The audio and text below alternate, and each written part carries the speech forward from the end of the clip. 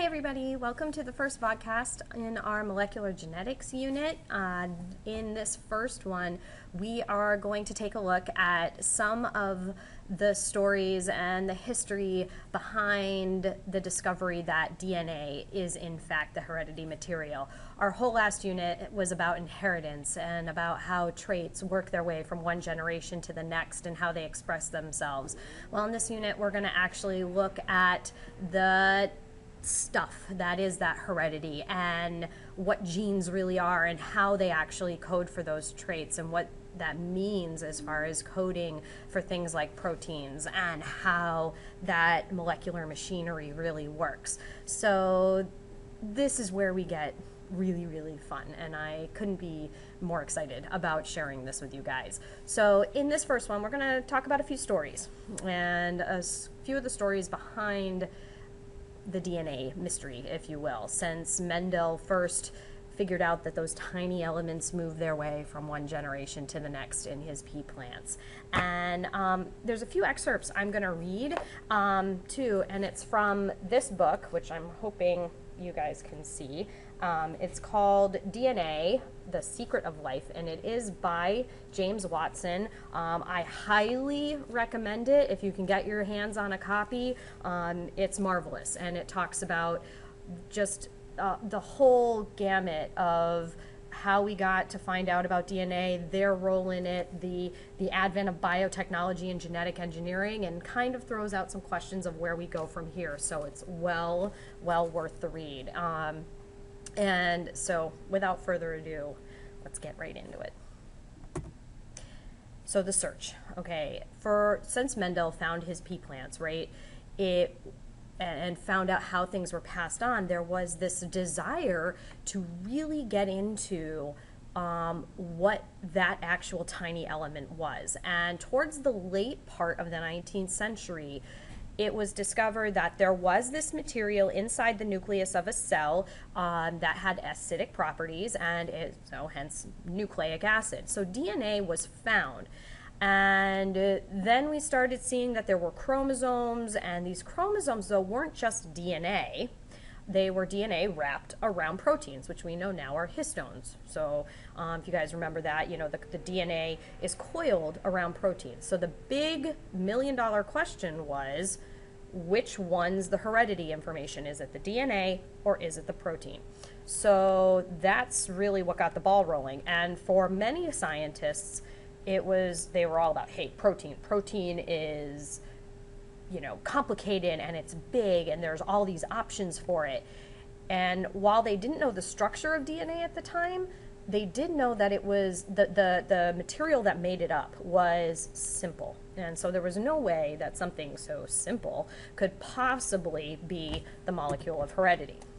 So enter frederick griffith in the 1920s Frederick Griffith was a doctor. Um, he was very interested in working with soldiers who he had seen through World War One um, die of infection, um, and it was very frustrating. So he decided that he wanted to create, and you know, not only infection, but other ailments like pneumonia and all these things. So he was looking at vaccines, and that's really what he was studying. He you know, this idea of genetics and his eventual role in this story was never his intention. And so he, in the 1920s, wanted to create a vaccine, and he wanted to create this vaccine for pneumonia. So he testing, you know, one of the things about vaccines is that when you get a vaccine, you're either getting some strain, some dead of what the original um, infectious agent was. So that way, your body creates its immune system and it creates the defense mechanisms in case you come across, you know, the bad stuff down the road. So in developing these vaccines, he had to create experiments to kind of test this, right? So he used two forms of pneumonia bacteria because that's what he wanted to find his vaccine for. And he used a virulent form, and this is the rotten form. I mean, this one, virulence refers to how quickly it's going to make you really sick or, in fact, kill you. Something highly virulent, you're done. Okay? Something non virulent, oh, you might get the sniffles, but you're going to, you know, this is something you can bounce back from. So he used two forms of this bacteria, virulent and non virulent strains, and he set up this really, really neat experiment. Okay, and so what I'm going to do is I'm going to show you the experiment and I'm going to walk you through it. Okay, and if you need it, grab your textbook because diagram on page 208 has this as well. So feel free to grab your textbook and have this out. So if you need to pause, go for it. So here's what he did. All right, he took um, a test tube of living virulent strain. Okay, so again, remembering that the virulent's the rotten kind. Okay, um, and it was considered basically um, what we called smooth. And then we have rough. Okay. Um, okay, so he takes this virulent strain, loads it up into a um, syringe and injects it into a bunch of mice. Okay, so he's got his mice group, right? You know, all the mice here, they die. Okay, not really a shocker, it was virulent, right? Figured that. He takes a non living strain, so these are his controls, takes this non living strain, throws that up into a syringe, shoots up the mice here, and yay, happy mice. Okay, all these mice live. Cool. So now he knows that the virulent kills the mice, the non virulent, and notice this A virulent as well is what's called. A in front of a word reverses it. It's, it means the opposite of. So that's why you see something like symmetrical, asymmetrical, sexual, asexual, virulent, avirulent. And these, and these mice survive. Control's done. Now let's start having a little fun with the experiment and see if we can't create some kind of vaccine. So, so this bacteria, so this bacteria has been killed by heat, right? Well, remember what we've been talking about high heat. Think about what that does to proteins, you know, all of that stuff. So he jacks the heat way up, fills up the syringe, and shoots it into the mice. Cool. Okay. Now, one would expect if these bacteria have that, that shouldn't bring any harm to the mice. And it doesn't. The mice do survive. All right, expected so far.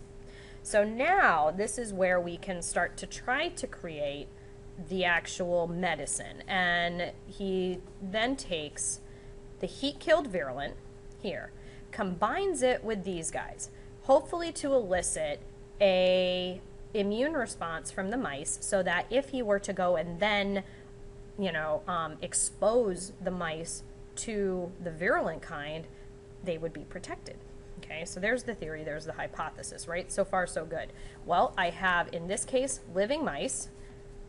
Living mice, I would hypothesize that if I combine these two and inject it into the mice, they would live too.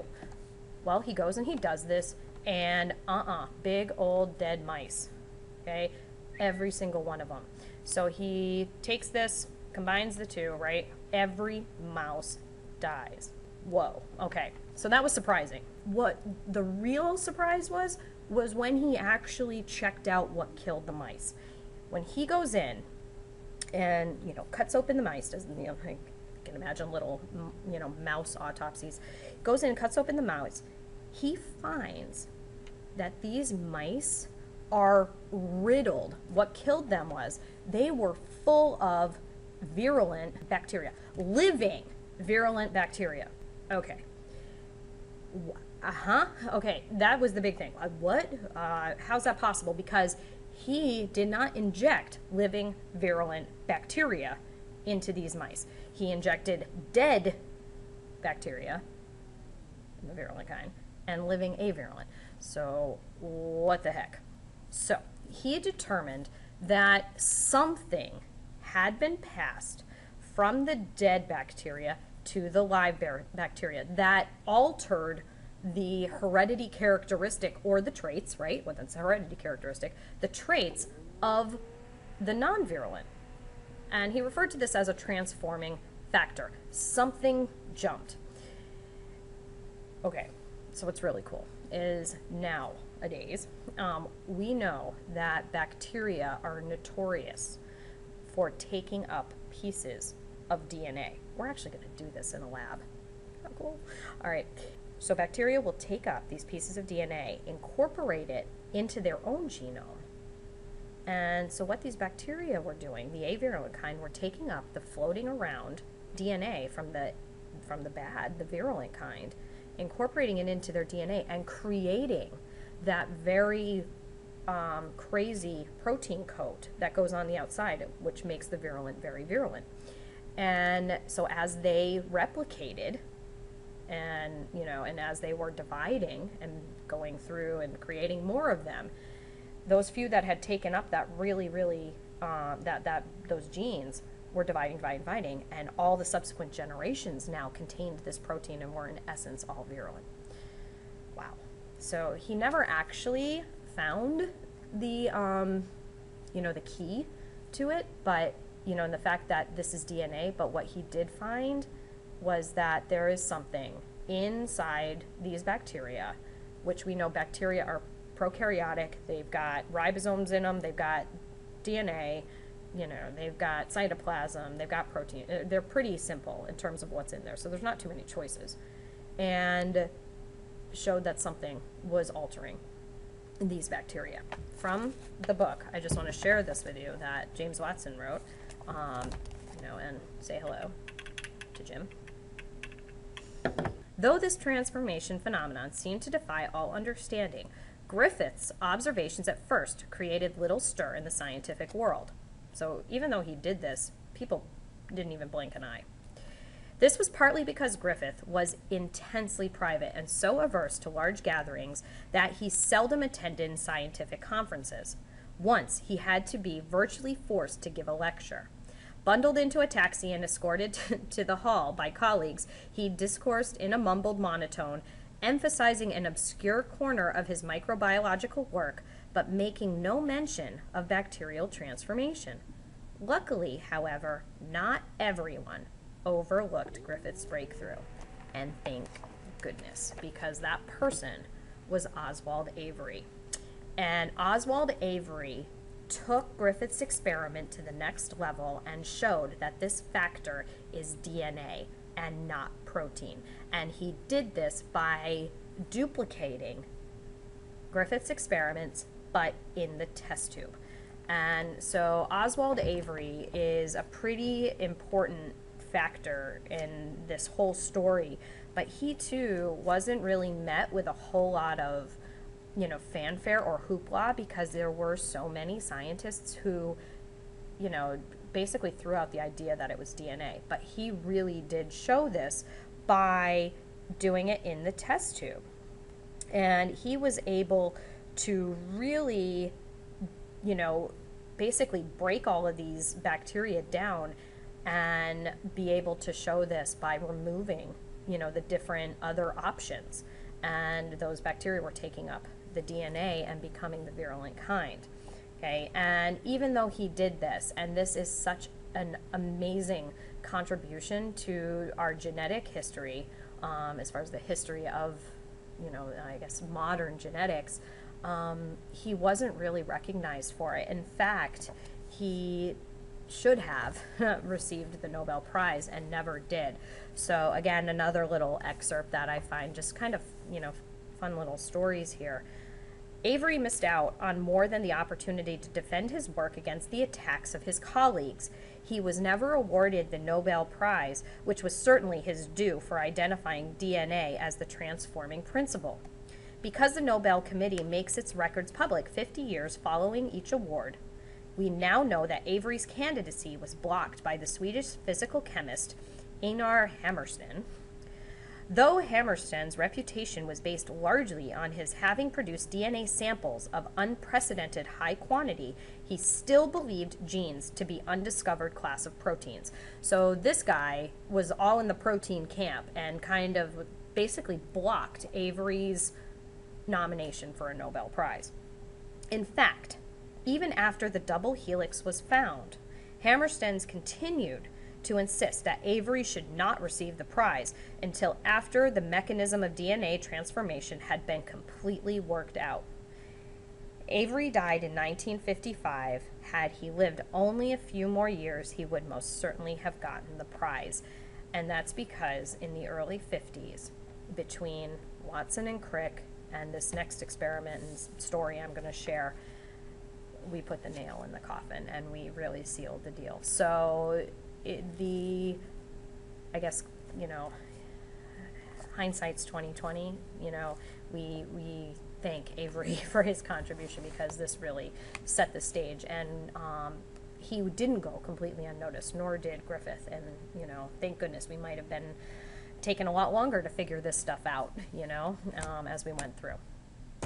All right, so in the 1950s, and particularly the very early 1950s, because it's 1952 when Hershey and Chase actually, um, you know, give uh, their talk and show their discoveries. And they go and use bacteriophages. So here they are, okay? And it's, you know, Alfred Hershey, Martha Chase. These are two scientists um, who work at Cold Spring Harbor Lab, um, and that's where they were doing their work. And bacteriophages are viruses, and they're very specific viruses that only um, infect bacteria, hence bacteriophage. Okay, so that's what they now why working with them was so ingenious is because they're as easy as it comes. We want to seal the deal on is it dna or is it protein? Let's use something that only has dna and protein. And a virus is perfect for that because that's all they are. They're a combination of either dna or rna and they have some rna too and protein or lipoprotein. That's what they are. Here is a picture of the bacteriophage that they used. Isn't it crazy? It looks like a spaceship, right? And what these bacteria do is they land, or excuse me, the viruses land on the outer surface of the bacteria and they shoot their DNA to the inside.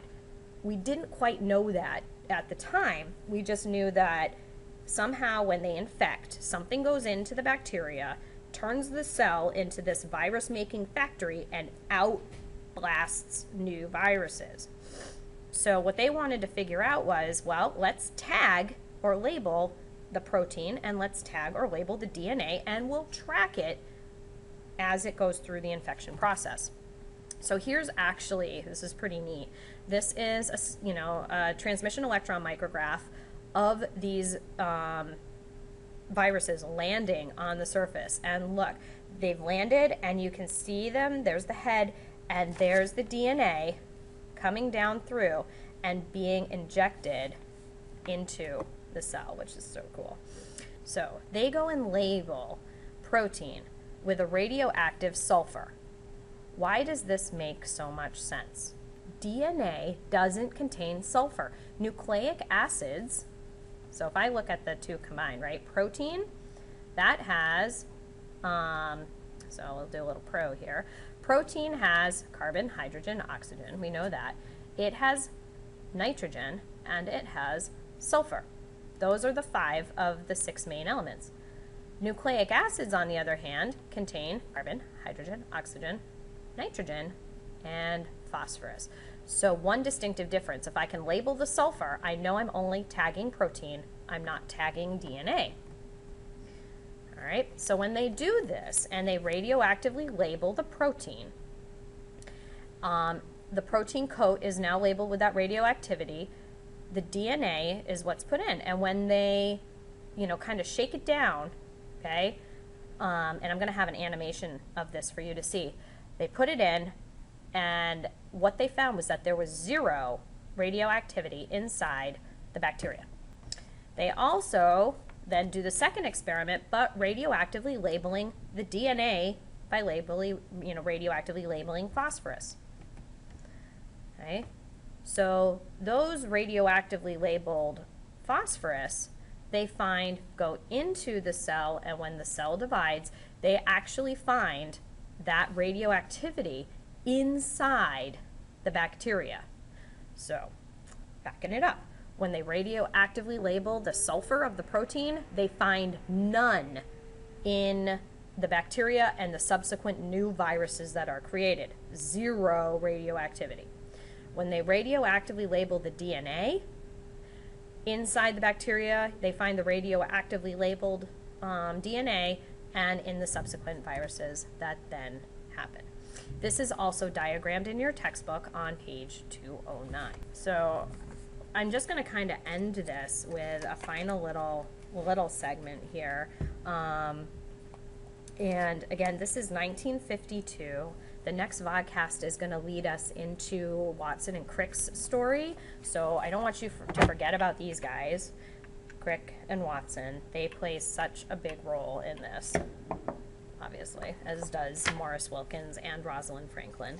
Hershey, as well as Salvador Luria, went on. Um, later on to actually win a Nobel Prize for their work on viruses. I have no idea why Martha Chase wasn't included in this, but um, she wasn't. Um, so we're going to end the story there with saying that by 1952, as Watson and Crick are beginning their work on the structure and wanting to figure out the actual structure of DNA, we have found out that the actual molecule of heredity that carries the information to make us what we are is carried in the DNA molecule. So, very exciting. And um, I really, really hope you guys enjoy this unit. We're going to get into a lot of really neat stuff. So, take it easy, have a great night, and we'll see you guys in class.